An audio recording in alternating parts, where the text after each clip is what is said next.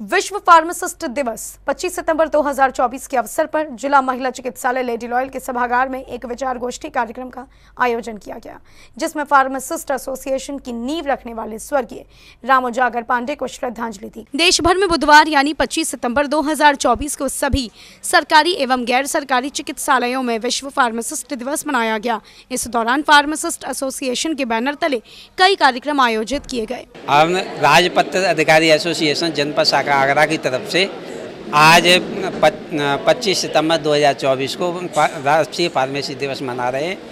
हम सभी करीब सत्तर अस्सी फार्मासिस्ट यहाँ एकत्रित हुए हैं ज़ोर शोर से मना रहे हैं। इसमें सभी ने अपने विचार रखे और फार्मासिस्ट की उपयोगिता क्या होती है, उसके बारे में सभी ने बताया। क्योंकि फार्मासिस्ट मरीज़ के साथ एक ऐसी कड़ी है कि वही सही डोज, सही मार्गदर्शन और सही दवा दे सकता है।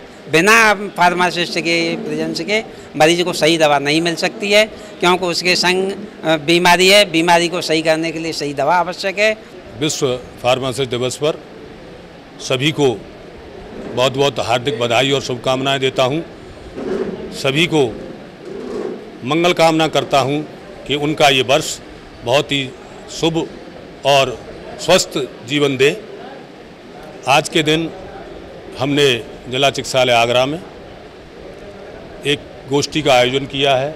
आप देख रहे हैं, काफ़ी फार्मासिस्ट हमारे जिला आगरा के यहाँ एकत्रित हुए कुछ बाहर से भी फार्मासिस्ट आए। हमारे सीनियर फार्मासिस्ट यहाँ, ब्रजलाल जी, जो काफ़ी सीनियर हैं, वो भी यहाँ इन्होंने भाग लिया।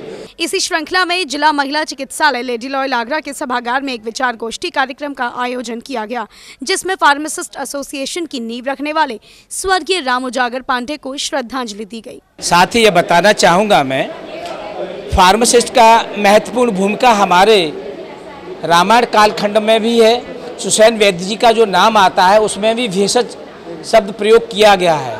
और रत्नाकर, स्रोत रत्नावली में भी रुद्र का भेषज नाम से इसमें शब्द प्रयोग हुआ है। तो आदिकाल से ही फार्मासिस्ट की महत्वपूर्ण भूमिका समाज के लिए महती रही है। इस अवसर पर हमने एक कार्यक्रम रखा, जिसमें दवा की dose, direction, incompatibility, manufacturing, side effect, किस ऑर्गेन्स पे क्या कार्य करेगी, उसके बारे में अपने विचार रखें।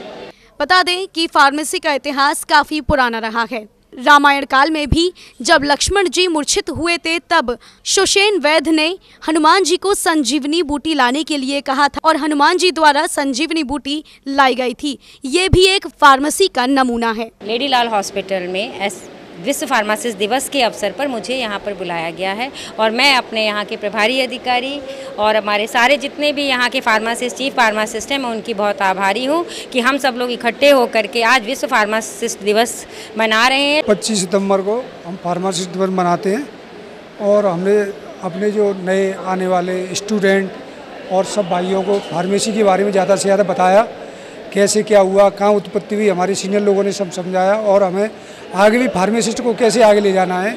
पब्लिक की सेवा कैसे करनी है? और कैसे फार्मासिस्ट को मतलब जो है देना वो सब चीज़ बताइए आज। विचार गोष्ठी के दौरान फार्मासिस्ट एसोसिएशन के वरिष्ठ पदाधिकारियों ने जूनियर फार्मासिस्टों का मार्गदर्शन करते हुए उनके उज्जवल भविष्य की कामना की। इस दौरान जूनियर फार्मासिस्टों का भी उत्साह साफ़ दिखाई दे रहा था। सी न्यूज़ के लिए अनिल कुमार सिंह की रिपोर्ट।